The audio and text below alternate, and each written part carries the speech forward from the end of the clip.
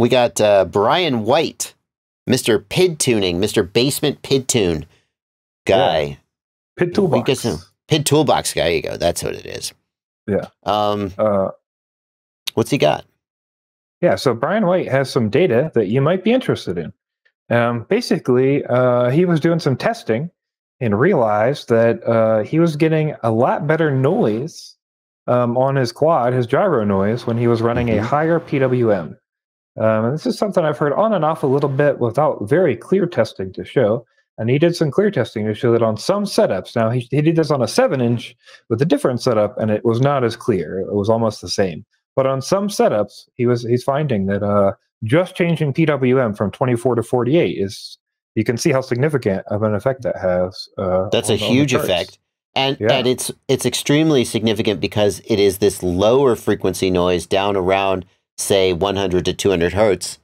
Maybe between 50 and 200 hertz is the noise that is most problematic for the PID loop and most difficult to filter out.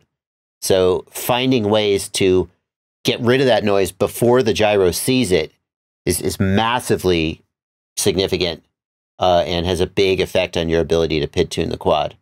Um, that's fascinating.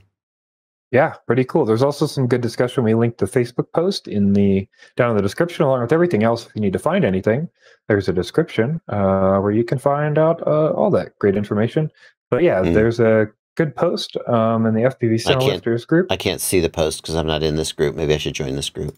There we go. Um, I- oh, But yeah, oh, so okay. Ryan Harold talks a little bit and a couple other folks. So yeah, some good comments about that.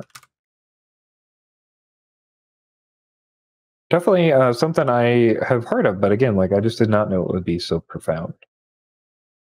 Okay. Well, let's see if they let me in. I All always, right. whenever, whenever a group has questions before they'll let you in, I assume they're going to recognize my name, and I answer the questions in a really belligerent way. So let's see how that goes. Okay.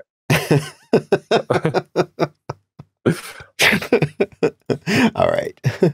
Um, so worth a try. If you've got a quad with really bad gyro noise, especially a larger quad, you may benefit from going to a higher PWM frequency in a maybe a non-obvious way.